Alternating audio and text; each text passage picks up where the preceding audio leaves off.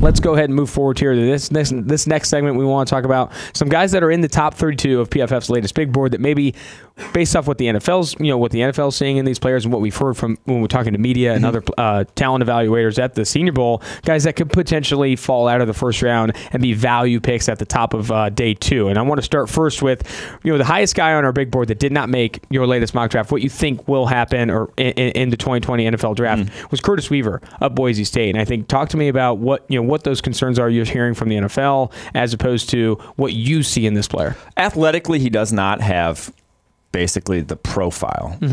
Profile that you want from an NFL edge defender. Like he is not doesn't have necessarily the length, doesn't have the get off, doesn't have the bend. Okay, like that's Yeah. and and then it's so almost if he were doing this. So if he were, uh, you know, doing this at Ohio State, if he was putting his production up and he's in the Big Ten and he's facing real offensive tackles week in and week out, I don't think it would be nearly as big of a concern. But when it's dominating lesser competition with lesser physical tools, you very much worry about how big a leap that is going to be and just how different it's going to be to have to beat the tackles he's going to have to beat in the NFL versus the tackles he had to beat at Boise State. And so when you don't have those physical tools, you feel less great about it translating. To me, though, he's beaten uh, or he's been as productive or more productive than any other edge defender we've seen. You know, non-power five edge defender we've seen. Like I've said before, the only guy to ever put up back-to-back pass rushing grades of 92.0 in back-to-back seasons.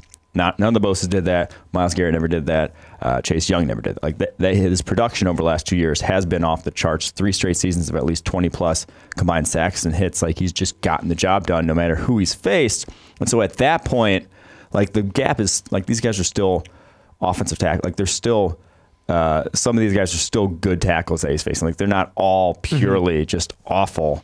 Uh, even despite you know the level of competition, he was going up against the guy in practice, uh, you know, pretty much every year for the last three years. And Ezra Cleveland, the left tackle for Boise State, who's going to be drafted himself. So I think uh, you can get some if you get some practice film on him see how he does in those situations. We'll feel a little bit better about him. But I, I just think that he is he's number 17 on our board because that production is so off the charts that I feel good about translating. Yeah, to kind of highlight those two concerns you mentioned, it- it's he doesn't have the ideal athleticism that you want at that position, and you factor in the level of competition. Those two factors will probably have him fall a little bit. But like you said, the production is absurd. And I also watching a little bit yesterday of Curtis Weaver. I mean, he wins with his hands very well. I think he can win quickly too. Like despite you, you have to win quickly to be a top pass rusher in the NFL. You have to hmm. be be able to beat offensive tackles very quickly, not with your second move constantly, but with your first move. And I think he showed that on his tape. Let's go to the next guy that could be a value pick that slips into round two. Jordan Elliott of Missouri, best best graded interior defensive lineman this past year in college football. This guy, a great pass rusher, good first step. I mean, this is where the NFL is going with these interior defensive linemen. Not the mountain of a man that Derrick Brown is, but Jordan Elliott still, I think, can be a productive player in the NFL.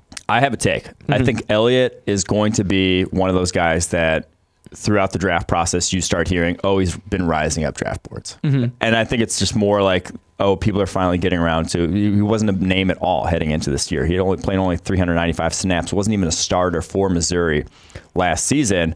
Comes in this year, We actually had two monster games at, towards the end of last year against Tennessee and against Arkansas.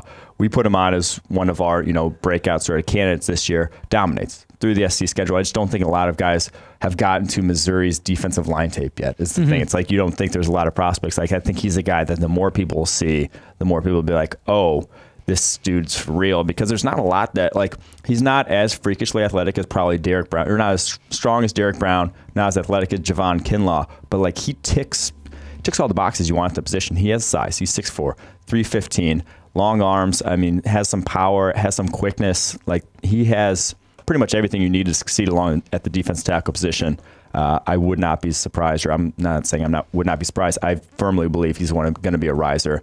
Probably ends up in the end of round one if I had to bet right now. I mean, especially with where the NFL is going, this guy can be an impact player as an interior pass rusher in today's pass happy NFL. We saw what I mean. I'm not comping him to Chris Jones, but when you have a guy that from the interior that can be a difference maker, uh, play every play every play, and, and it's like Chris Jones had that impact in Yeah. the Super Bowl. I think Jordan Elliott maybe not, you know, doesn't have the same size or whatever, but I think can have similar pass rush production at the next level. Number 22 on PFF's big board, but slipped out of the first round of this latest mock. Julian Okwara, Notre Dame edge defender, super good athlete super good athlete, and I think people are going to fall in love with this guy at the combine. I could imagine him after the combine, him rising up boards as well. I, I can't to me fathom why so many people are pumping up K'Lavon Chaisson LSU edge defender. and are low on Julian Okwara. Like those two don't necessarily mix to me. To me, they're like the same player Mm-hmm. in terms of athletically. Okay, they're not the same player. That was bad. They're, to me, they're very similar players in that athletically they can do anything you want them to do at the position, and, and they're not. And even though they're undersized, they both have shown they can bull rush at a high level.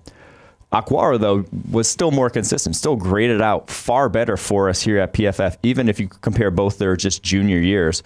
Uh, Julian Okwara had an 86.5 pass rushing grade. K'Lavon Chaisson's was below 80 this past year. Like, and Kalen Chason had a lot of obvious pass rushing situations at LSU. Like he knew they had a lot of second half leads where he knew all I have to do is attack the passer and still didn't necessarily get the job done. So that's I don't know. That's concerning to me. Mm-hmm. Like I, I, to me, I don't know why. Like what the big difference is coming from. I may regret saying this in like a couple years after you know Caleb's great in the NFL and Julian Okwara stinks. But like I, I truly believe that Okwara is the better prospect right now.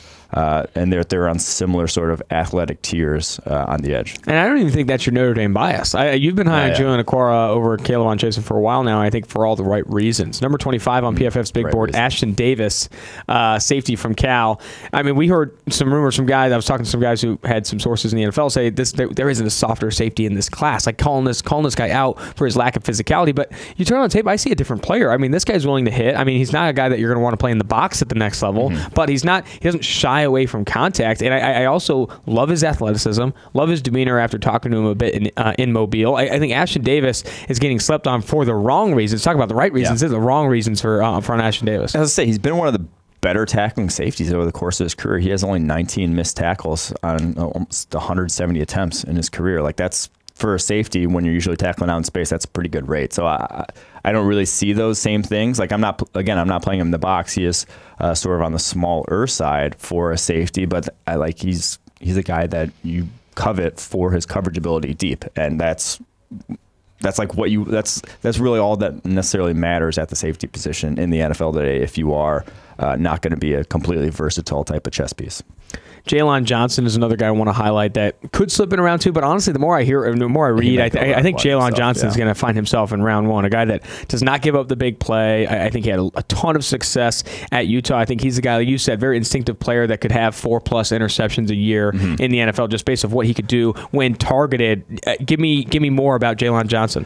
Yeah, I mean he's just been very productive over the past two seasons. Has some of the best sort of instincts of any cornerback in this class. Call whatever you want. Like his ability to read routes and not get burned on double teams uh, is very good. Like he has just not given up a ton uh, over the course of his career at Utah.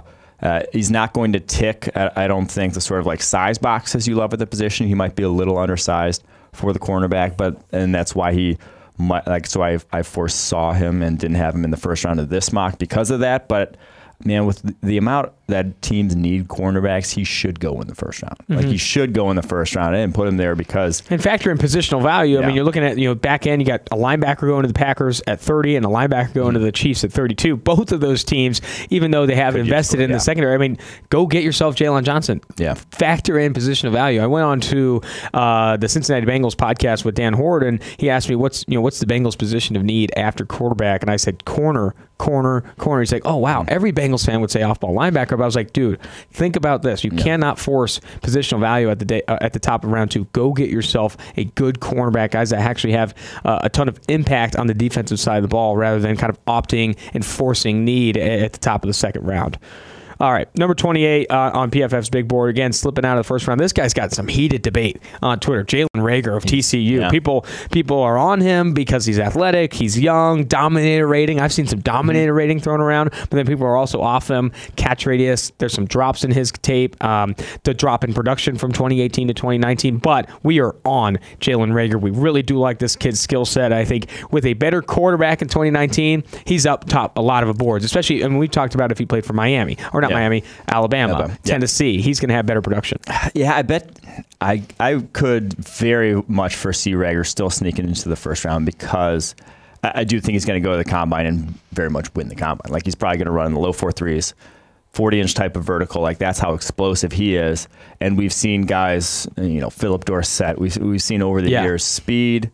Damn, don't compare him to Phillip Dorsett. Well, I'm just saying speed still gets drafted in the first round. Yeah. Like Phillip Dorsett, terrible production at Miami you know, not uh, limited catch radius in his own right. Much more of a raw first. route Oh, yeah, runner yeah, too. like, His oh, route running was Reagor's raw. much better player than Dorsett was coming out, but we, like I said, Dorsett went in the first round because of that speed. So I do think Reagor has a chance of making it in the John first round Ross well. too. I mean, John Ross again was a similar speed. Uh, number twenty nine on PFF's big board, Cameron Dantzler of Mississippi State. Again, these cornerbacks, Jaylon Johnson, Cameron Dantzler at the back end of the first round. These guys are sneaking in, in my opinion, as, as more teams buy into the fact that cornerback position is so valuable. And I know Mm-hmm. it's very scheme dependent too. There's going to be some cornerbacks that are off teams' boards, knowing the defense they do play. But I think Cameron Dantzler, Jaylon Johnson, both of these guys, man, I, I think if you're a team that went to the postseason this you know this past year and you're at the back end of the first round, pulling the trigger on either of those two, it would be a, a step in the right direction. I think Dantzler does have some speed concerns that he, he'll have to answer, at, and is why a lot of people aren't as high on him probably as we are, at number 29. He'll have to, at the combine, uh, he may run in the four fives, which four five plus, you're just going to be hard pressed to see a team draft you in the first round. That just like doesn't happen. They rarely take a chance on guys like that. You have to be pretty damn good at everything else, and I do think Dantzler is. That's why we're still high on him. But I just he might not have the speed necessarily. Like, and if you don't have the speed and you're like slightly built, Yeah, that's what I was about to say. He's not going to have the speed, and he's also like 189 pounds. that's that's just a tough sell for teams. But dude, you, you can't teach uh, what he's done at the position in the SEC the last two years.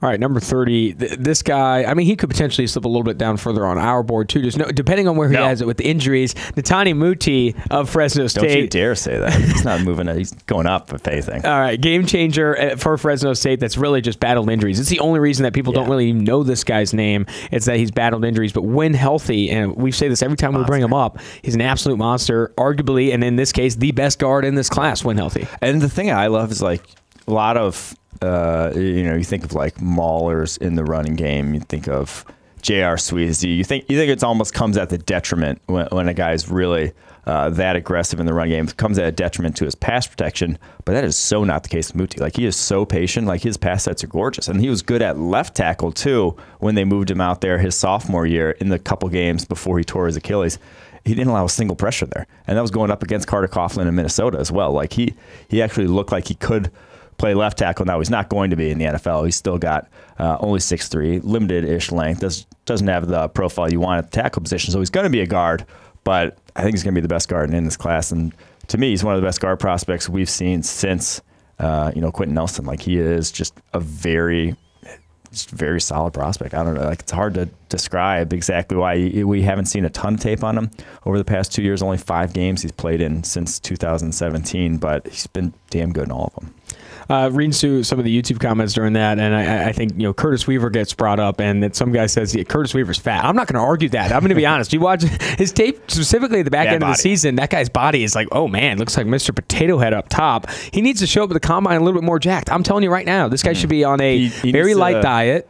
To I- the anti Jachai Polite. yes, the anti Jachai Polite. I agree with Where that 100. percent Play, play jacked and then show up at the combine fat. Yeah. Play fat. This guy shows up with bad weight. I mean, I mean, dude, like, hopefully he's getting the advice right now. Like, hey, you need to show up pretty cut here. Like, I mean, we can't, we can't have you take your shirt off. I mean, that kind of should like, be every like you're a professional athlete. True. hope you. Yeah. No, I know, but I mean, it's easier said than done. You get addicted to Swedish fish. Next thing you know, you go down this trail. Uh, number thirty-one, last guy we want to bring up that you know inside that top thirty-two of PFF's big board that didn't make this first round mock is Brandon Aiyuk, the Arizona State receiver, explosive dude, former JUCO transfer that had good, didn't have good production when N'Keal Harry was there, but hmm. they force feed their top guy. N'Keal Harry was force fed, and this past year, Brandon Aiyuk, Brandon Aiyuk was force fed. I still wish I could have saw him at the Senior Bowl. I think I wanted to see him run you know intermediate and deep level routes. I wanted to see him create separation against some of the cornerbacks down there. He didn't have a chance to do that. He was flagged in the physical process. But man, Brandon Aiyuk, I still really do like those traits, and I think that's why he is there at number thirty-one.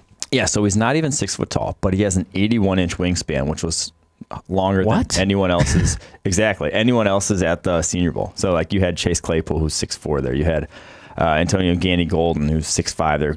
Uh, what's his face? Collin Johnson, who was Like I might be able to fly with those. Like they, he could take Yeah. flight with those on. 81 inch wingspan was longer than all of those guys.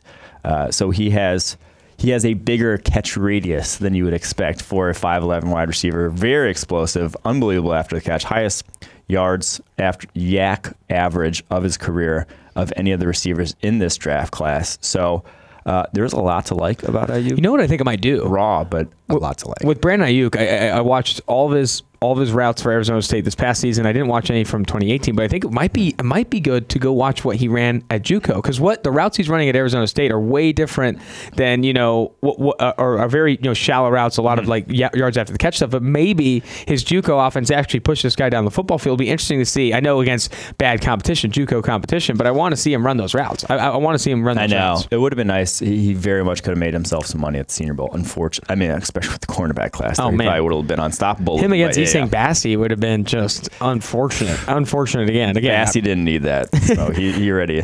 Thank thank God for Bassey. You want to get rid of me and get back to more great PFF YouTube content? All you have to do is push that button right there and subscribe. Thanks for watching.